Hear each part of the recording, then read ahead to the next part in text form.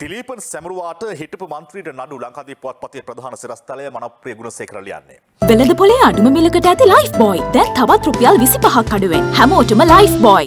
තිලීපන් සමරෝත්සවය සංවිධාන කළ බවට ත්‍රස්තවාද වැලැක්වීමේ පනත යටතේ වූ අධිචෝදනා පත්‍රය දෙමළ ජාතික සන්ධානයේ හිටපු පාර්ලිමේන්තු මන්ත්‍රී එම්.කේ. සිවාජලිංගම්ට බහර දුන් කොළඹ මහාධිකරණ විනිසුරු ආදිත්‍ය පටමැදිගේ මහතා ඔහු අපමත මුදා හැරීමට ඊයේ නියෝග කළා කියලා තමයි වාර්තා කරන්නේ. ඒත් එක්කම දිනවෙන පුවත්පත වාර්තා කරනවා තිලීපන් සමරන්න ගිය සිවාජලිංගම්ට අධිචෝදනා.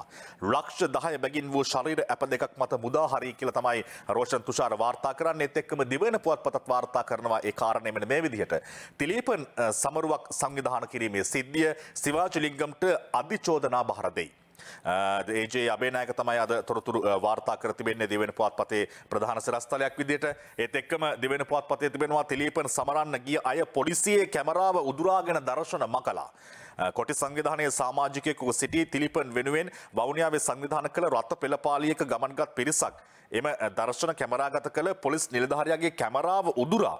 එහි තිබූ දර්ශන මකාදමීමේ සිද්ධිය පිළිබඳව අ, පුවරාසකුලම් පොලිසිය අධිකරණයට කරුණු වාර්තා කර තිබෙනවා කියලා තමයි අද දිවයින පුවත්පතත් ඔවුන්ගේ ප්‍රධාන සිරස්තලයක් විදිහට තොරතුරු වාර්තා කරලා තියෙන ඒත් එක්කම ලංකාවේ පුවත්පතේ තිබෙනවා මන්ත්‍රී ගජේන්ද්‍රන්ට පහර දීමේ සිද්ධියේ කතුන් දෙදෙනා ඇතුළු හය දෙනාට ඇප තිලීපන් සමරු රත පෙළ පෙළකට සහ යාපනයේ දිස්ත්‍රික් පාර්ලිමේන්තු මන්ත්‍රී සෙල්වරාසා ගජේන්ද්‍ර මහතාට පහරදීම සම්බන්ධයෙන් සැකපිට අත්අඩංගුවටගත් කාන්තාවන් දෙදෙනා ඇතුළු හය දෙනා එක් අයෙකුට රුපියල් ලක්ෂය බැගින් ශරීර ඇප මත මුදාහරණ ලෙස ඇතුළිකු නමල අතර එක මහේස්ත්‍රාත් දර්ශනයේ අන්නතුරේ මෙනවිය චීන වරාය පොලිසියට දැනුම් දුන්නා කියලා තමයි අද ලංකාවේ පුවත්පත වාර්තා කර තිබෙන්නේ.